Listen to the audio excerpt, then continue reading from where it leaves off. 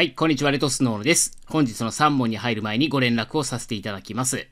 個別指導の現在の割引価格は、明日12月31日までとなっています。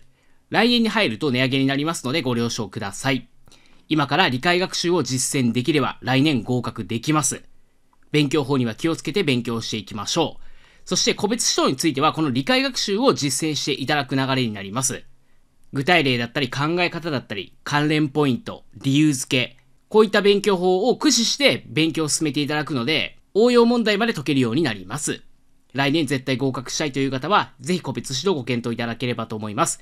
個別指導はこの動画の下の概要欄に URL を貼っておきますのでそちらからご確認いただければと思います。それでは本日の3問に入っていきます。当事者間で第三者の弁済を禁止する特約で合意していた場合でも、正当な利益を有する第三者は、この特約に反して弁済をすることができる、丸か×かという問題です。考えたい方は動画一旦ストップしていただいて、この動画の下の概要欄から問題文ご確認ください。え答えは、えー、弁済することできませんので、誤りですね。当事者間で第三者弁済を禁止する特約がついていた場合、正当な利益を有する第三者であったとしても、弁済することはできないんですね。そのため、誤りです。では、正当な利益を有する第三者っていうのは誰なのか。え具体的には、例えばですね、物情保証人とか、あと借地上建物の賃借人、まあ、借家人ですね。あと、抵当不動産の第三取得者、公獣医、抵当権者などです。まあ、それぞれですね、どのような人かっていうのは理解しておきましょう。え個別指導の受講者様はテキストに、え具体例書いてありますので、えそちらですね、ご確認いただければと思います。具体的なページ番号については受講者専用のメルマガの方に、え記載しておきますので、そちらからご確認ください。で、問いにですね、え宅建業者 A は、え保証協会に加入したときは、その加入の日から2週間以内に弁済業務保証金分担金を保証協会に納付しなければならない。丸か×かと。え答えは、え2週間以内ではないですね。え誤りですね。×です。え弁済業務保証金分担金は保証協会に加入する前ですね。に、え保証協会に納付しなければなりません。なので、2週間前ではなくて加入する前が正しいです。ちなみに、保証協会にもすでに加入していた宅建業者が事務所を増設する場合、新しく作る場合ですね。その場合は増設した日から2週間以内に分担金を納付すればいいんですけれども、初めて保証協会に加入する場合は、加入する前ですね、に納付しなければなりません。えー、分担金の納付時期、異なってきますので注意しましょう。で、こちらが保証協会の話で、えー、こちらが営業保証金の話です。営業保証金の場合、新規で営業を開始する場合も、事務所を増設する場合も、どちらも営業開始前に営業保証金を供託して、その旨を免許権者に届け出なければなりません。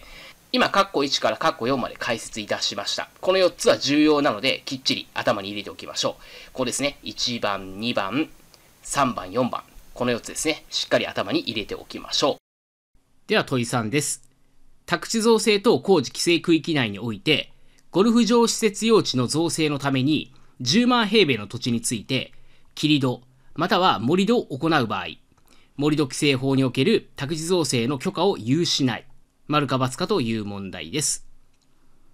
で、答えは、これ誤りですね。